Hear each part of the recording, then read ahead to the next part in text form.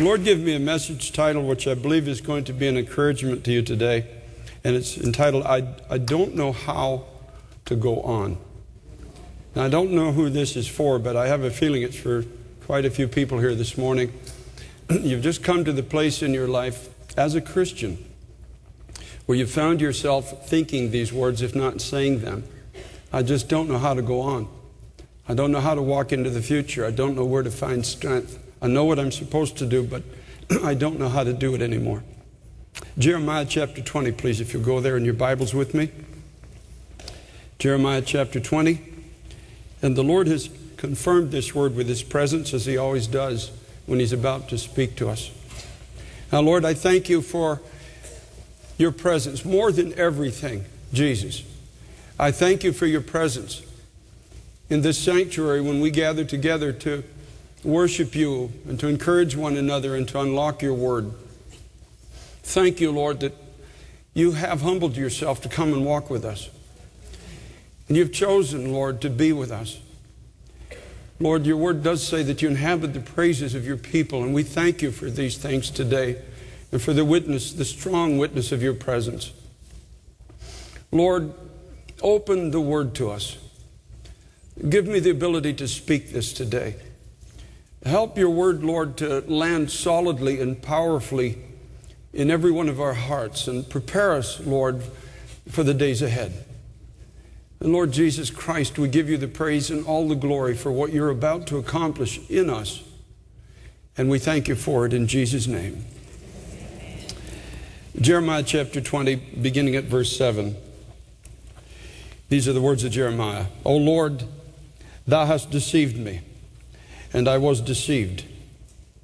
Thou art stronger than I, and hast prevailed. I am in derision daily. Everyone mocketh me. For since I spake, I cried out. I cried violence and spoil, because the word of the Lord was made a reproach unto me and a derision daily. Then I said, I will not make mention of him nor speak any more in his name. But his word was in my heart as a burning fire shut up in my bones, and I was weary with forbearing, and I could not stay. For I heard the defaming of many, fear on every side. Report, say they, and we will report it. All my familiars watched for my halting, saying, Peradventure he will be enticed, and we shall prevail against him, and we shall take our revenge on him. But the Lord is with me as a mighty, terrible one, and therefore my persecutors shall stumble, and they shall not prevail. They shall be greatly ashamed, for they shall not prosper. Their everlasting confusion shall never be forgotten. But, O Lord of hosts, that tries the righteous and sees the reins of the heart, let me see my vengeance, thy vengeance on them. For unto thee have I opened my cause. Sing unto the Lord, praise ye the Lord, for he has delivered the soul of the poor from the hand of evildoers. Now, Jeremiah was at a place in his life which many sincere believers in Jesus Christ are facing today or will have to soon go through. I don't think this classroom is avoidable. You know, when I started in ministry as a young man, I was 33 when I went into full time ministry. And I remember this seasoned veteran minister of the gospel came to visit me one time and he said to me, I, I felt then I, I was ready to take on the world. I was ready to see revival break out on every side, was ready to preach to anything and everything that would move, and uh, nothing seemed impossible. And he looked me right in the eye, an older man, probably my age, and he said to me, There is a day will come when you will not think you can go another day. He says, You will not, and it seems so foreign to me to say that. I mean, I, I had just come out of darkness, I had come to Christ, and there were miracles happening in my life, and the thought of coming to a place where I wouldn't be able to go forward for another day was foreign, actually, to my thinking. He said, But that day will come. And he said, When the day comes, the Lord will ask you a question Can you do it for one more day? And all you're required to do is say, Yes, Lord. And you go through the next day, and at the end of the next day, the Lord will say to you, Can you do it for one more day? And he said, There's a season in your life, it's an inescapable season in every Christian's life where you're not going to know how to go forward. There'll be no natural strength left. Your natural zeal will be gone. You will face opposition that you can't get through in your own strength. And I remember the day when it came when I just didn't know if I could go forward. I didn't know where I'd find the strength to go through another day. And his words came back to me. Can you do it for one more day? And there was a season in my life where that one word from a man of God carried me for many, many weeks. Can you do it for one more day? Can you just find the strength to believe me? This is what the Lord is asking of us at certain times. 1 Corinthians 10:13 Paul says there's no temptation taken you but such as is common to men. In other words, you won't go through anything that anybody before you hasn't gone through. The devil's scheme is to try to tell you that somehow your situation is deeper, darker, more difficult, something that God never thought of has come your way. You've got a struggle too powerful, you've got a walls too high, you've got enemies too great. You can't somehow get through it. But what you're going through, the Bible tells us, is common to others. That not only have others gone through it and made it to victory, but others around you are going through it as well. And that's why it's important for us in the body of Christ not to be hypocritical, not to, not to pretend that we're something we're not. If, if, if anything I've learned over the years, honesty is required of a genuine believer in Jesus Christ. Folks, you don't have to put on a mask on Sunday morning when somebody says, How are you? And you don't have to, you know, put the coat hanger in your mouth so you can smile and say, Blessed. I know we're blessed, but there are times when, just be honest, say, Would you pray for me? This has been the worst week of my life. Folks, there's something so wonderful about honesty and vulnerability and a genuine care and compassion for one another because we all have to go through times and storms. But God is faithful, Paul says, who will not suffer you to be tempted above that you're able, but will with the, te- the test or the temptation make a way to escape that you might be able to bear it. Now, in the beginning of our text, Jeremiah said, Lord, you deceived me and I was deceived. Now, he's not implying that God was deceptive. Now, when you look at it in the original Hebrew text, it basically says this Lord, you overpowered me and you, res- you reduced my ability to resist your calling. I, I, I, I, came, I come into your presence, and there was a drawing that I couldn't resist, and there was a calling that I knew was right. And I accepted the calling. You overpowered my resistance, is really what he's saying. And any ability I had to refrain from taking up this calling you had given to me. Now, in Jeremiah's case, he was called to stand and preach in a very unpopular time. Very much like we're in today. There was a season in America, I'm sure, where it was very popular to be a Christian. Everybody was turning to Christ, everybody's talking about God. But those days are f- far gone now. And we're in a season, it's an, it's an out of season time to stand for the things of God. And that's the time that Jeremiah was in. False prophets were deceiving the people, they were believing a lie. Jeremiah saw captivity coming from all sides and tried to warn the people, but they weren't willing to listen. And Jeremiah said, Listen, I've, I've responded to this calling, but it's brought me into a place where I've become the object of ridicule and mockery. verse 8, he says, I've warned as lovingly as I could of the peril of how they were living and the coming judgments against it. And yet they laughed at me and chose to believe other voices. He said, I, I cried out, I cried violence and spoil. In other words, there is no safety here anymore. The security is quickly leaving us. We're about to face times, Jeremiah was telling his generation, that without the strength of God, we're not going to get through it. There's going to have to be a turning to God, and it's going to have to be a turning in truth and in genuine righteousness. But all it brought me, he said, was deeper mockery and ridicule. I was laughed at as it is, and many of you are laughed at in the workplace. You tried to live right, and all you face is ridicule and mockery, and the ridicule and mockery is getting more vehement. It's getting more cruel all the time. It might have been a snicker, but now it's outright sarcasm and ridicule. A young lady recently stood up in a college class and basically just shared what she felt God had done in her life, only to find that there were profanities, even from the professor in that class, being directed at her, calling her an idiot and a moron. In, in one of our college campuses in this country, for believing that God created the world, that God came as a man, that God went to a cross, that God died for the sins of all humanity. And this is the time we're living in now. How difficult it is for many who are having to go through these particular classrooms in our generation. Jeremiah said to God, I hurt because of the way I've been treated. I've only tried to do what you told me to do, and it's been mostly rejected. In the beginning of chapter 20, it tells us that Pashur, the son of Immer the priest, who was also chief governor in the house of the Lord, heard that Jeremiah prophesied these things. And Pashur smote Jeremiah the prophet and put him in stocks that were in the high gate of Benjamin, that was, which was by the house of the Lord. Uh, most believe that he was given 40 lashes and put in prison because of the warnings that he was bringing. And so not only was he rejected, but he felt deeply wounded. He felt hurt. And in verse 9, he'd come to the point where he said, I'm not going to talk about you anymore. I'll, I'll, I'll, I'll believe, but I'm just going to be quiet. I'm not going to speak anymore in his name, he said. But his word was in my heart as a burning fire shut up in my bones, and I was weary with forbearing, and I could not stay. In other words, Jeremiah said, I decided to be quiet, but there was something in me that would not let me. I got into a lot of trouble as a young, police, a young Christian when I was a police officer and ended up transferred down to a, a street platoon.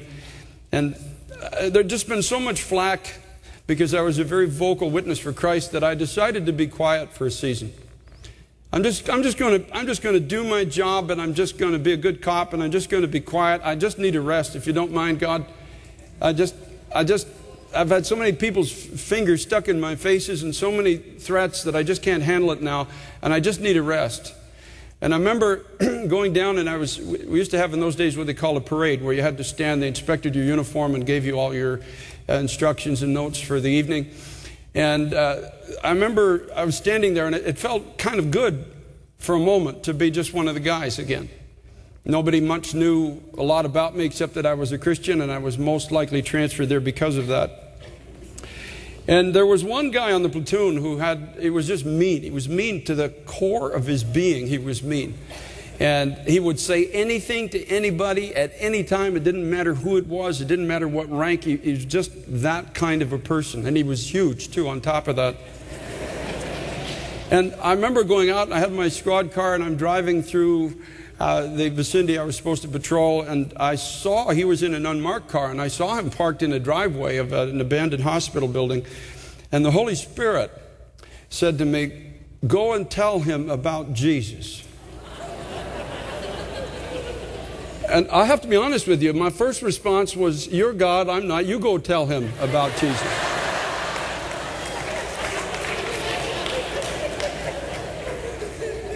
I, I, could envision this guy because he was, he was quite a character, and I could envision him the next night on parade, and I'm just brand new, and I just want to be quiet. I want to fit in for once, and I could just see him, hey guys, you got to listen to this. Now there's 80 guys lined up. I could just imagine what this would, and I had this vision in my mind of what he was going to do to me publicly if he didn't kill me privately before we got to the next night. And so I, I argued with God, but there's something, you see, when you came to Christ, the Holy Spirit came. Now, the Holy Spirit is not just a concept of God. The Holy Spirit is the third person of God. He is the fire that is in your bones. He, not just when Jeremiah says in my bones, it means the very fabric of my being is now, is now has another life source inside of it. There's something greater than me. There's something greater than my heart. There's something greater than my own desires that moves me and motivates me to do what I do and to be what I am. And so I bargained with the Lord. I said, Well, listen, I'll go get a couple of coffees, and if he's still there, uh, I'll tell him. And so I was really hoping, I have to be honest, I was really hoping he's going to be gone when I got there. And so I went and got two coffees, and then I, he was still there, unfortunately. So I, I drove in beside him in the driveway so that our, our windows are facing each other.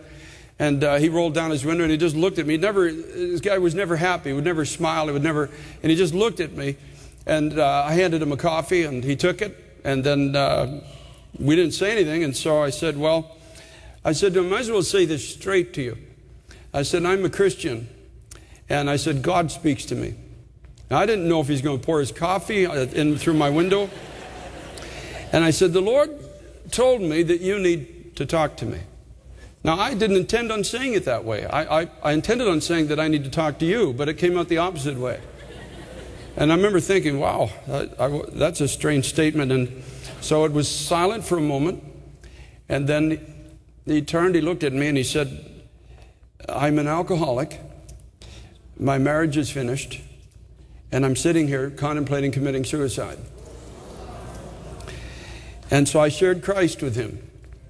And led him to the Lord. Right there, we prayed together, led him to the Lord. And not long after that, he went into prison ministry. And uh, one day he called me after I was gone and into full time ministry. He said, Carter, I never really thanked you for what you did that night. I tried to be quiet, Jeremiah said, but I couldn't.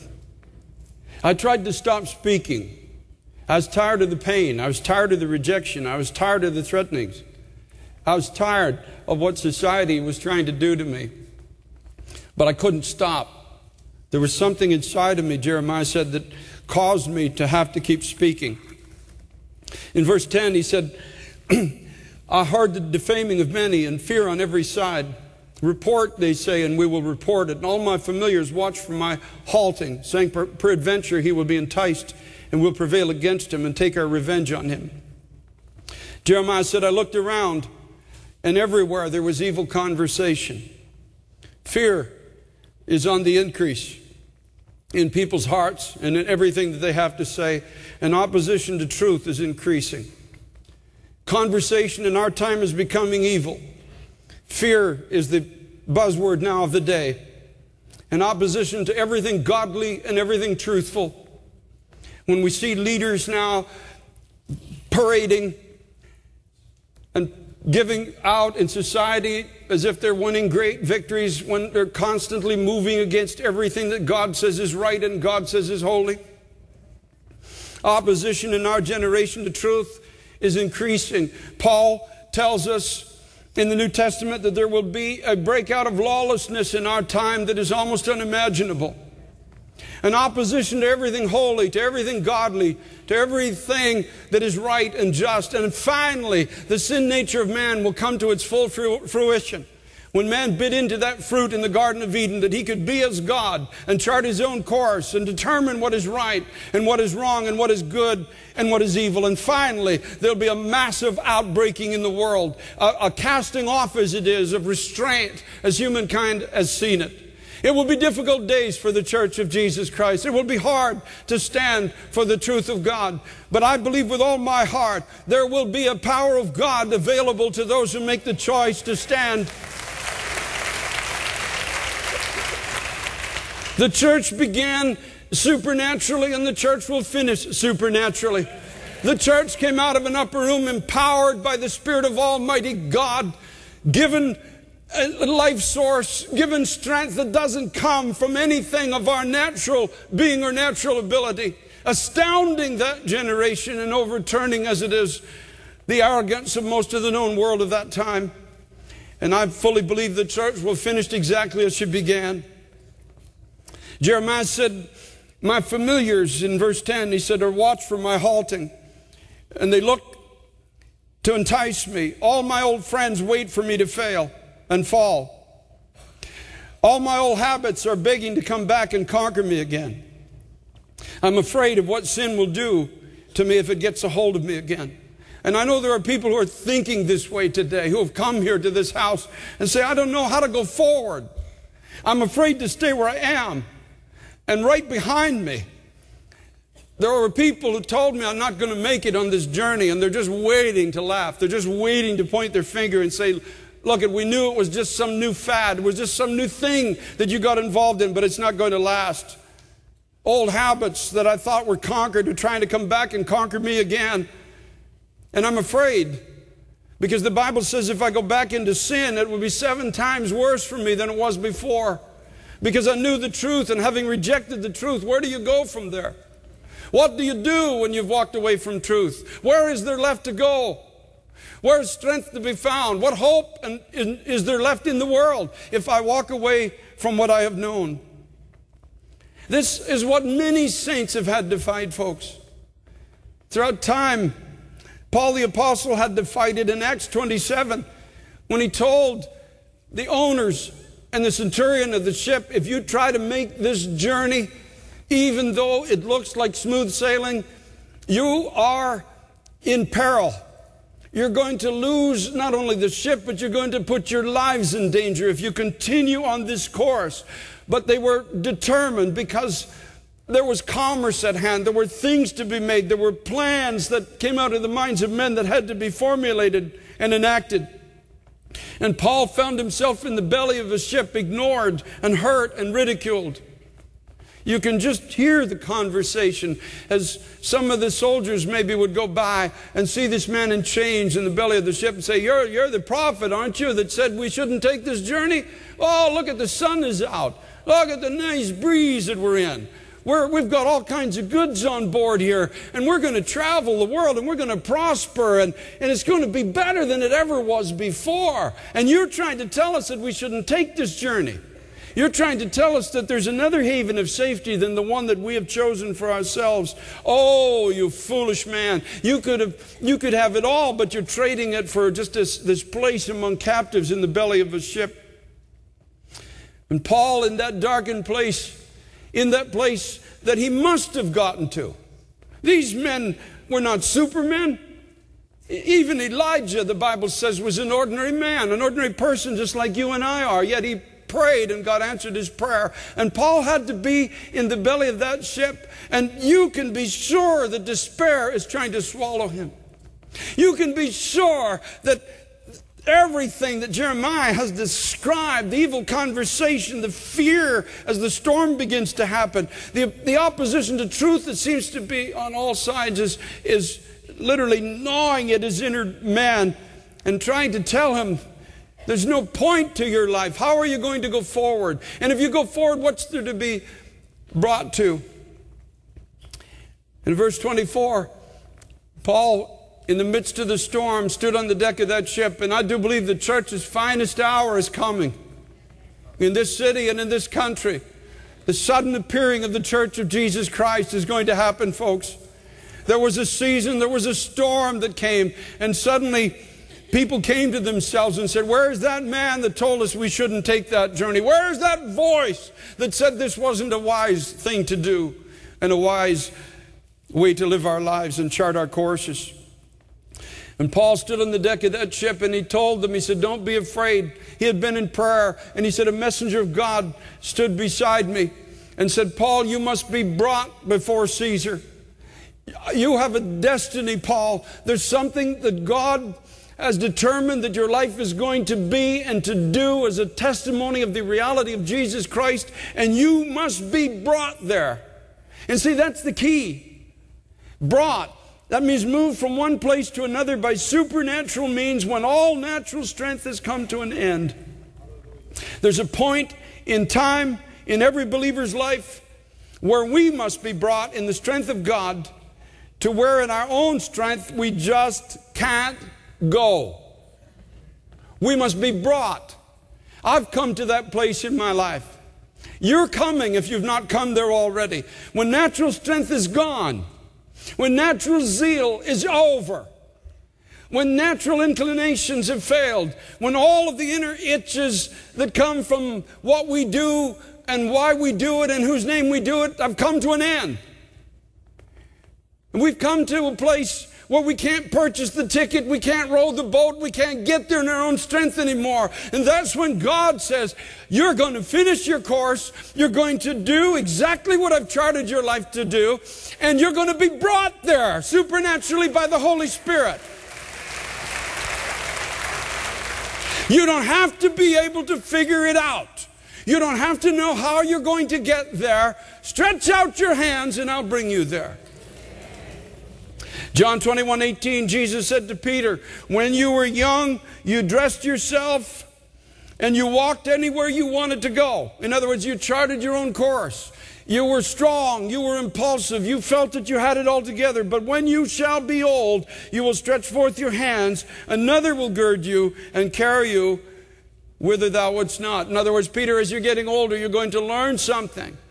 You're going to be brought to places that you can't go and places you don't want to go.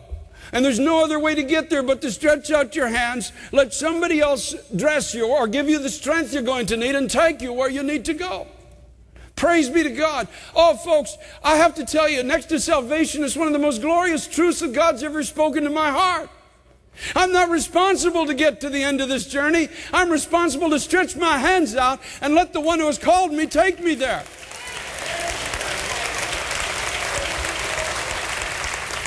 By his strength, by his grace, by his mercy, by his promises, by his power, by his love by his righteousness, by his judgment, by everything that God is. He takes me to the end of the journey so that I can put my feet up in my bed at the end of the days and say, God is good and his mercy endures forever.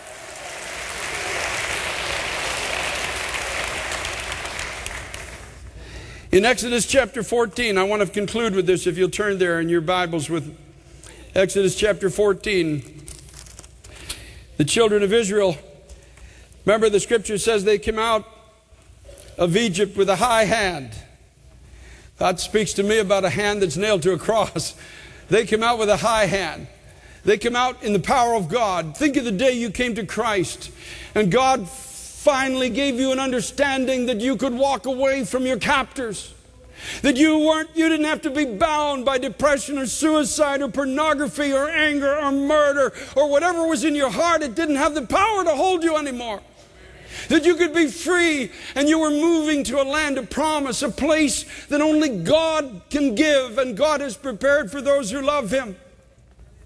And you walked out with a high hand. You walked out with an assurance of victory, just as they did in Exodus chapter 14 and verse 8. It says, The Lord hardened the heart of Pharaoh, king of Egypt, and he pursued after the children of Israel.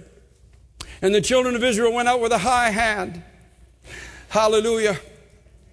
But the Egyptians pursued after them, all the horses and chariots of Pharaoh and his horsemen and his army, and overtook them encamping by the sea.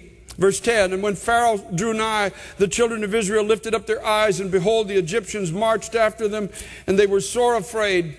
And the children of Israel cried out unto the Lord. Now evil pursues them to strike fear and dismay into their hearts. That's what many are going through right now. You're being pursued by evil on every side to try to take away that testimony of God out of your mouth. And they said to Moses, Because there were no graves in Egypt, you've taken us away to die in the wilderness. Why have you dealt this way with us to carry us forth out of Egypt? Is not this the word that we told you in Egypt, saying, Let us alone, that we may serve the Egyptians? It was better for us to serve the Egyptians than we should die in the wilderness. Remember, Jeremiah said, Lord, you overpowered me. You took me on this journey. And I'm just so tired of the rejection. I'm so tired of the beatings. And Moses said to the people, Fear not, stand still and see the salvation of the Lord, which he'll show you today. For the Egyptians whom you have seen today, you shall see them again no more forever. The Lord shall fight for you, and you shall hold your peace. The Lord will fight for you. You don't have to figure it out, and neither do I.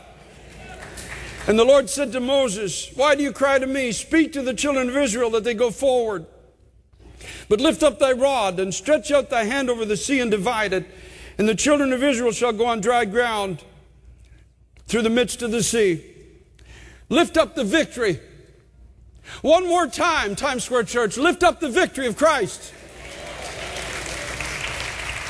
Lift up that faith and confidence that you've always had in God through Jesus Christ. Lift up that cross and put that cross and that victory of the cross right in the face of the devil, right in the face of impossibility. Put that victory of the cross in the face of everything that stands before you and tries to tell you this far and no farther. This is the end of your life. This is the finish of your testimony. This is as deep and as far as it's going to go. The Lord said to Moses, Don't cry to me. Lift up your hand. Lift up that rod that's in your hand. Lift up that power that God has given to you. And stretch out your hand over this place of impossibility and divide it. And move into the supernatural power of God. And the rest is history. Moses obeyed God and he lifted up that rod that God had put in his hand. It's, it is a type of the victory of Jesus Christ. And that which was impossible parted before him. And when they got to the other side, he lifted the rod again, and the waters of that river enclosed and drowned all of their enemies. Now, I've often said, if you want to know what that looked like when they passed through the sea, just hold up your Bible like this in the middle, close one eye, and look right down the middle. That's exactly what it looked like because he was holding a big Bible and he was taking his children right through the Red Sea and into the promised land. And so you might not see your way through, but you open this book and look down the center of it. When you've read the promises, turn it around and look the other way and say, Enemies, I drown you in the pages of this book. Hallelujah to the Lamb of God.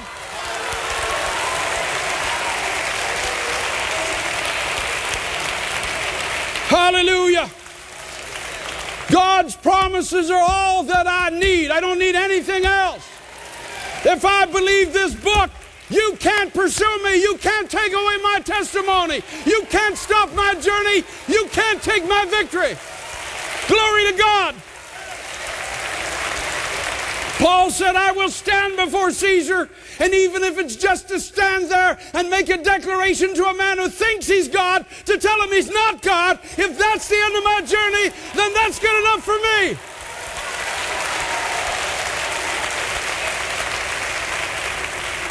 And the Lord said, Paul, because you've had this determination in your heart to finish this course, whether you understand it or don't understand it, and to be taken there by supernatural power. I've given you 276 people to take with you on this ship. Praise be to God. That's the supernatural power of God. That's where evangelism is found. It's in a people like you and I who simply cannot be stopped by adversity. There's nothing the devil can throw in front of us that says this far and no farther. We have the Word of God. We have the power of God. We have the promises of God. And I'm going through to the other side. I'm going to finish this walk. I'm going to finish this race in the power of my God. Hallelujah to the Lamb of God. Hallelujah to the Lamb of God. Jeremiah chapter 20 and verse 11. He said, The Lord is with me as a mighty, terrible one. That means a powerful God. Therefore, my persecutors shall stumble and they shall not prevail. They shall be greatly ashamed, for they shall not prosper and their everlasting confusion shall never be forgotten. We just read about it, at least a portion of it in the book of Exodus, the everlasting confusion of our enemies. Never forgotten, never forgotten. Those things that try to tell you you can't, you can't go farther, you can't go on, you can't make it. Says these things are going to be ashamed. They will not prevail. They'll stumble. They'll fall. They'll not prosper and their everlasting confusion will not be forgotten. You see, you'll be talking about it for eternity. It will never be forgotten. You'll be traveling through, I don't know if we travel through galaxies, I don't know how it works in heaven. I don't need to know. I just need to know it's heaven and I'm going there. And I know I'm going to have a story to tell, and I'm never going to get tired of telling it of what God did and who He was and how merciful He is and how humble He was to walk with me and with you and how all of our enemies that tried to conquer us. Paul said the fears, the fears without and the fightings within, or vice versa. All of these things that come on every side to stop the testimony of God could not prevail. Because in my heart and in my body there was something of God stored there that would not let me stand still, that would not let this journey finish in defeat that would not let you and I somehow settle into some kind of religious lukewarmness that bears no resemblance or testimony of the life of God that is given to us. No, we made the choice to get up and move forward. We made the choice to do it one day at a time, if that's all the faith we could muster. But it was good enough. God met us there. Oh, Lord of hosts, he says in verse 12, who try the righteous. You see my motives in my heart. He said, Let me see your vengeance on them, for unto thee have I opened my cause.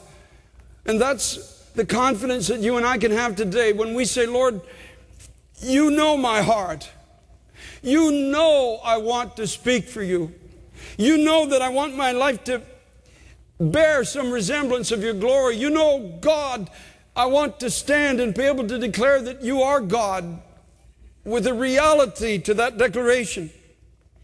Let me see your vengeance on my enemies. Let me see you, God, bring down every lie of hell that's trying to tell me that there's no going forward. I've somehow reached a Christian plateau and I'm not going to ever go any higher or any farther in God. For unto thee said I've opened my cause.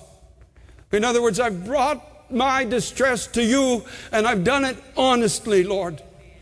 I'm not playing. You see, this is the characteristic of all these great men and women of God in the Bible is that none of them were willing to play games with God.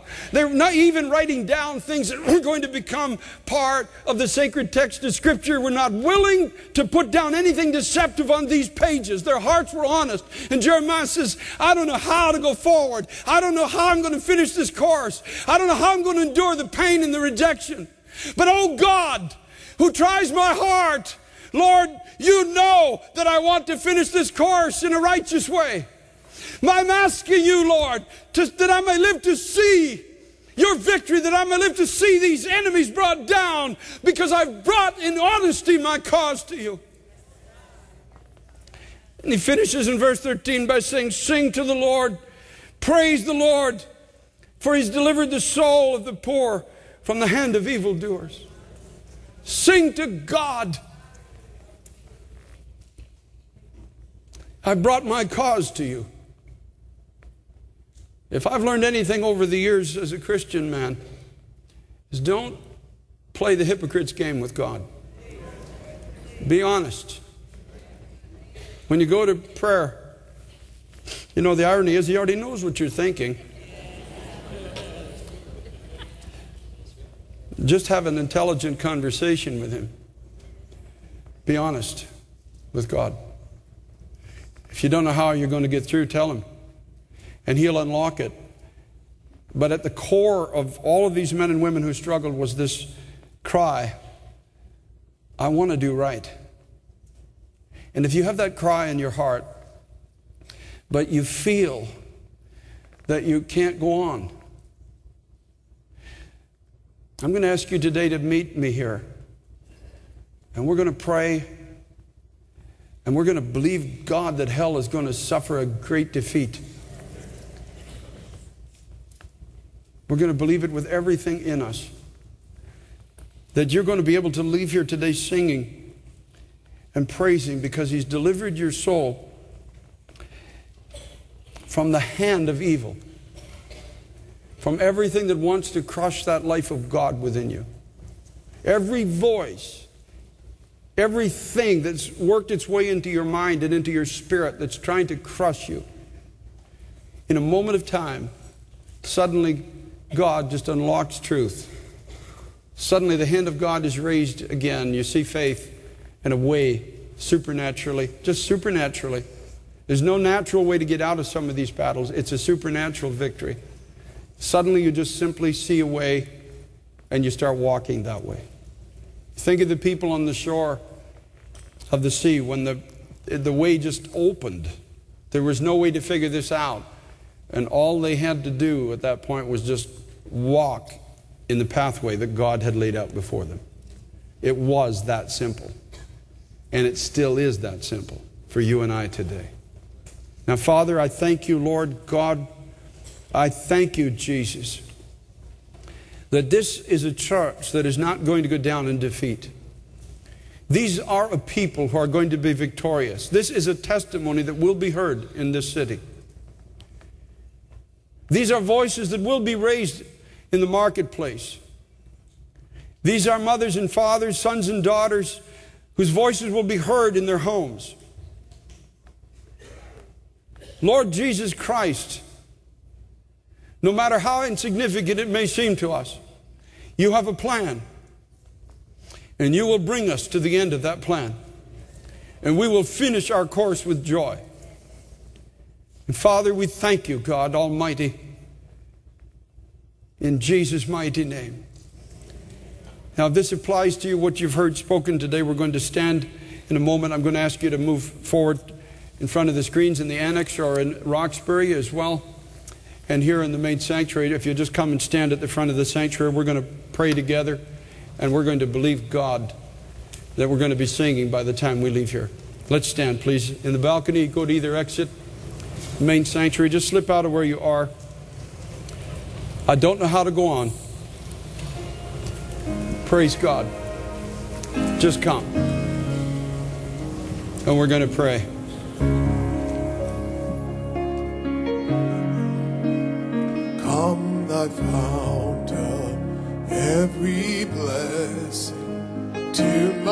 heart to sing thy praise. Streams of mercy, heaven.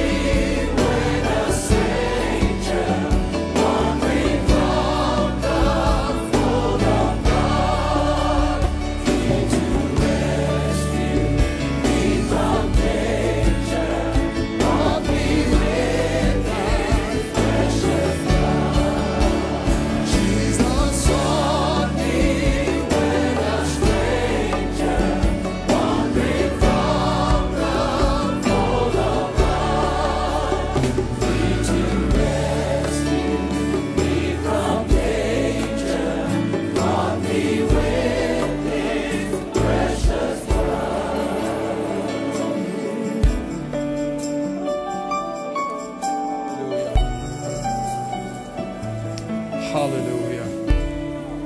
Hallelujah. Hallelujah. Peace, peace, wonderful peace, flowing down from the Father above. Sweep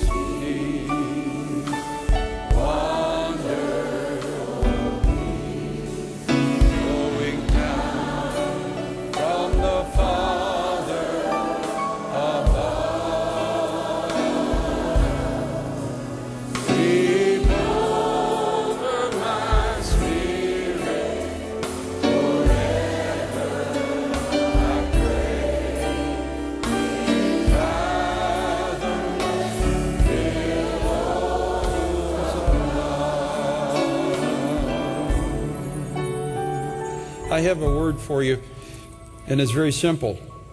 You will. And sometimes it doesn't have to be complicated. There's no great emotional moment has to happen at this altar. You've simply agreed with God. And you've come to Him with an honest heart, and the Lord says to you, You will. You will finish. You will be victorious. You can just add whatever you want at the end of that. You will inherit all the promises of God. You will be strengthened by the Holy Spirit. You will not be triumphed over by any power of darkness. And when you get to the end of the journey, you will be able to raise your hands. You will have a shout of glory in your soul. You will have a declaration of the faithfulness of God. You will. Hallelujah. You will. You will. There's not a person here that's going to go down under the weight of your enemies. If you have an honest heart, you will. God intertwines his very reputation. The, the reputation of his name is at stake in keeping you. All that you and I are required to have is an honest heart. Nothing else. Just an honest heart. And there are times when it's just going to be one day at a time. Can you walk with me one more day? Can you walk with me one more day? And you get up in the morning and the Lord will be there beside your bed saying, Can you walk with me one more day? I'll carry you, I'll sustain you, I'll keep you, I'll give you the words to speak, I'll, I will keep you from the power of your enemies. You will not be triumphed over. And that will be enough. That has to be enough. There are seasons when you can see a month ahead and it's just victory on every side. But there are other days when you can't see beyond the, the wall uh, that's in front of you. But God will be your strength. God will keep you. And the testimony at the end is not about us, it's about Him. It's about His power, His keeping. It's all about Jesus Christ. Thanks be to God.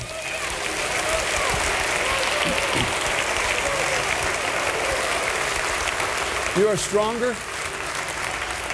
We, we got to sing one more song before we go. Thank God for the victory. Thank God for the victory. Thank God for the victory. Hallelujah. Hallelujah. Hallelujah. Hallelujah. Thank God for the victory. Thank God for the victory. Turn to a few people around you and just say, Thank God for the victory. Thank God for the victory. Hallelujah. Hallelujah. Hallelujah. Thank God for the victory. Thank God for the victory. Praise be to God. Thank God for the victory.